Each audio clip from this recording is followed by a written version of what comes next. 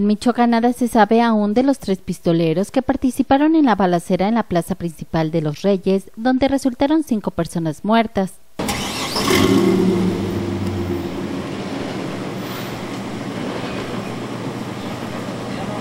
Habitantes que presenciaron los hechos aseguran que fue un enfrentamiento entre quienes participaban en una manifestación en el portal frente a la presidencia municipal. Empezó a la ráfaga de disparos, entonces corrí rápido a asomarme y como vi la puerta abierta vi que la gente estaba corriendo por esta calle de Galeana. Tres de los muertos traían playeras blancas con la leyenda Policía de Autodefensa. No se sabe si ellos también alcanzaron a dispararle a sus agresores. Exactamente vi cuando dos personas cayeron en, en los últimos grados de aquí de la presidencia. No sé si cayeron ya muertos, sí les veía con manchas de sangre, pero ahí quedaron. Entonces, Cerré la puerta, me vi nuevamente rápido. Este, siguió la ráfaga.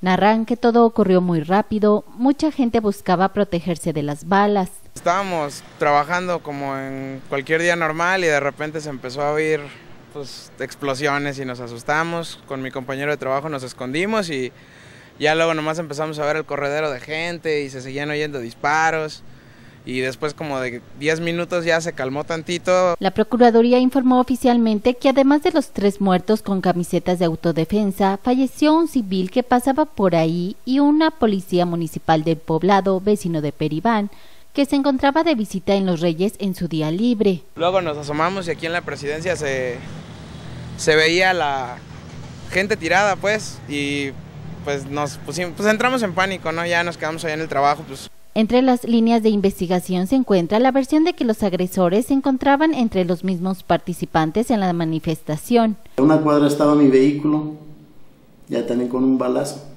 Entonces, ya preguntándole con un elemento de la Policía Federal, sí me dijo que los disparos habían sido sobre el mismo portal. O sea, no del frente hacia la presidencia, sino de el mismo portal. ¿verdad? Una ráfaga después estuvo muy fuerte. El gobernador de Michoacán, Jesús Reina, afirmó que se investiga la presunta participación de los llamados autodefensas de Buenavista Tomatlán en los acontecimientos de los Reyes. Pero el día de ayer, tal parece, no puedo precisarlo, que es la presencia del grupo de autodefensa del municipio de Buenavista Tomatlán. Dijo que los Reyes tenían guardia comunitarias en poblados indígenas donde no ha habido violencia.